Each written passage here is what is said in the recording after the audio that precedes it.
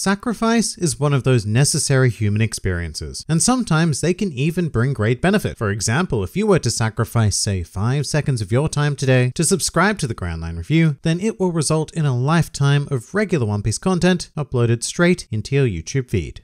Hello and welcome to the Grand Line Review, your source for everything One Piece, and today we are going to be diving deep into some of the old feels because I would like to discuss the most profound sacrifices in the series. That's because for all of the great action and comedy on offer in One Piece, something that has come to characterize the emotional core of the series are heartfelt actions committed for the sake of others. And just to get some more detailed semantics out of the way, when I say the word sacrifice, I am referring to an action engaged in by a character for the benefit of another, with the knowledge that it will come at great personal cost. Now now that personal cost, yes, might be the character's life, but sacrifice doesn't necessarily need to be quite that extreme. It could be the loss of literally anything of value, be it physical or even conceptual, like say a sacrifice of freedom. An example of which would be Nico Robin turning herself over to the world government in order to save the lives of the Straw Hats. That is a sacrifice right there. It won't be on this list, but that is indeed a sacrifice. And the other key thing that I'm looking for here today is the making of an extremely difficult decision, the likes of which none of us would ever encounter in daily life, or at the very least I hope we don't encounter them. So we're talking about impossibly tragic situations here, but with a gigantic glint of hope.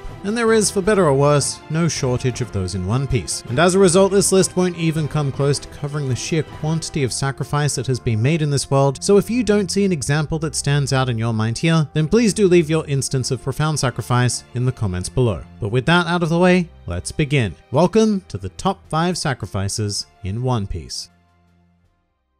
Number 5.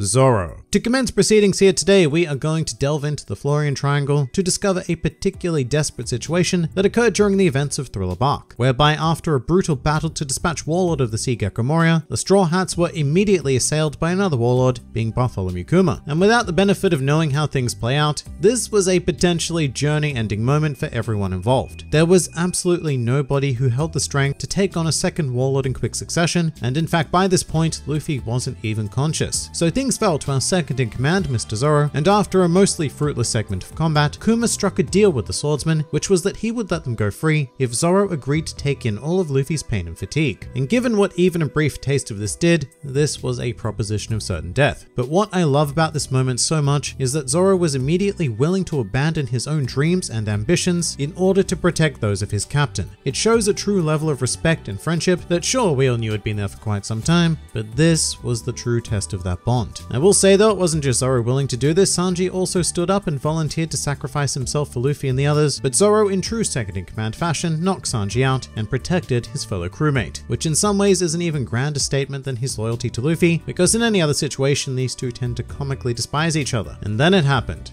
Zoro absorbed all of Luffy's pain and it ripped him to shreds, causing wounds that no opponent could ever hope to inflict on this man, and it even came within an inch of costing Zoro his life. And the only real explanation I can give for Zoro remaining in this world is his sheer tenacity and mental fortitude, because not only did he remain alive, but he stayed standing until the rest of the crew regained consciousness, like an immortal guard ensuring their safety. This is one of the many moments that really solidified Zoro as my favorite character in the series, and it is one of the great examples examples of sacrifice in One Piece. Number 4.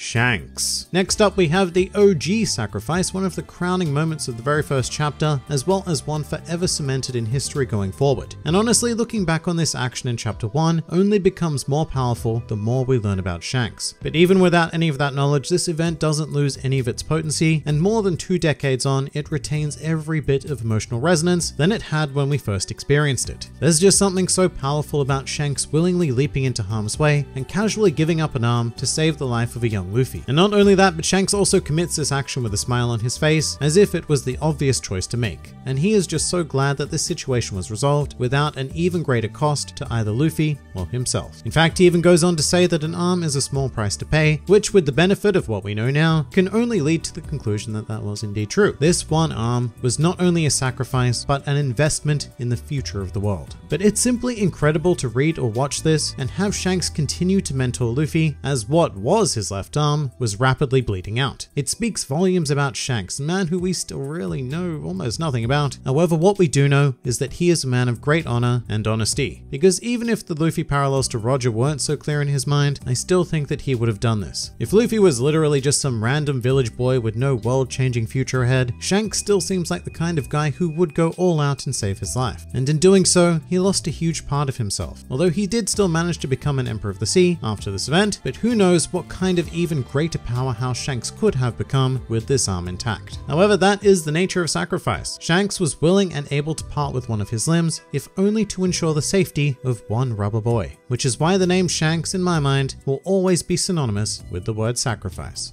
Number 3. Zeff. Alright, time for some flashback territory now, and the tale of Zeff and Sanji is a staple of One Piece, even if it does differ pretty radically between the anime and manga versions. Here's the deal though, no matter which incarnation of this you are familiar with, it still hits pretty damn hard, especially when you consider the kind of grizzled pirate that Zeff was. He was a rough captain with quite the volatile temperament, and seemingly no sense of mercy for the world around him. That is until he met one young lad who just so happened to share the same dream that Zeff himself had held, which was of course to find the legendary All Blue. And after hearing that, Zeff just completely broke his pirate facade, choosing to risk his own life to save that of a boy that he had only just met. And as for the cost, well, it would be his leg, which was pretty important for a man whose epithet was Red Leg Zeff. It really should not be underestimated just how essential this one limb was to Zeff. It was everything to him as a pirate, and in the anime version, he made the decision to part with it fairly instantaneously, as it was caught, and in order to save both Sanji and himself, he needed to sever it. However, in the manga, this would be a more calculated endeavor, uh, as Zeff did manage to save Sanji with his leg intact. However, after nobly giving all of the food to Sanji and faced with the prospect of starvation, Zeff made an incredibly emotionally charged decision to sacrifice his own leg and eat it, which he achieved by violently severing it with a rock. And that is the event that I subscribe to, and not just because it's manga canon, but because it shows Zeff making the active, calculated choice to sacrifice his leg, rather than in the anime, where the loss of his leg was more or less of an incidental occurrence. In the anime, Zeff had to get rid of it in order to save his own life. In the manga, Zeff was faced with a choice, but the manga lands with me a lot more powerfully, especially with Zeff's final words as he engages in the act, which were, so this is the end of Zeff's red leg. But in either case, Zeff was willing to lose everything to save Sanji, whether it be protecting him from the storm or making sure that he lived through their experience being stranded on the outcrop. Manga, anime, whatever. It was a truly stunning display of classic One Piece sacrifice. Number 2.